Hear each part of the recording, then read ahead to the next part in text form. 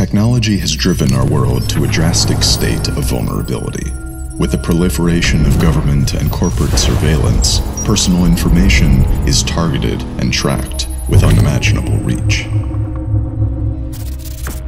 But in this age of rapidly eroding privacy, there are some who have dedicated themselves to the effacement of the digital self.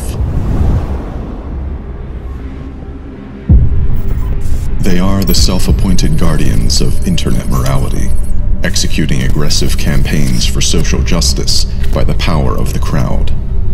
They are a screaming cry for reform to the complacent, and a flaming light of revelation to the covert. While they demand transparency of government and corporate institutions, they themselves remain hidden in the shadows of the cyber world. Utilizing the digital screen as a mask, they possess an unbridled authority and instant escape from jeopardy. They possess anonymity. We are anonymous. We are legion. Anonymous has no who. It exists not as a group, but a movement, aspiring to the most honest definition of a leaderless organization. Renouncing all individual recognition, Anonymous promotes the anti celebrity with strict devotion only to its ideology. Allowing anyone to call its name, Anonymous is dynamic in its portrayal. This is their strength, and this is their fault.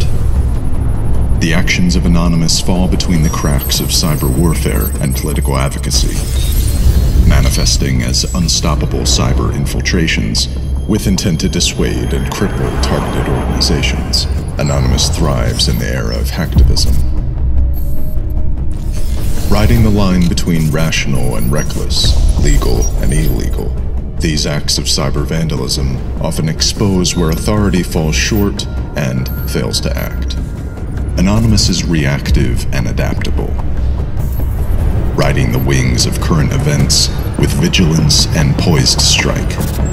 Anonymous is more powerful and relevant than ever. For this force, the voice of none is stronger than the voice of one. We do not forgive. We do not forget.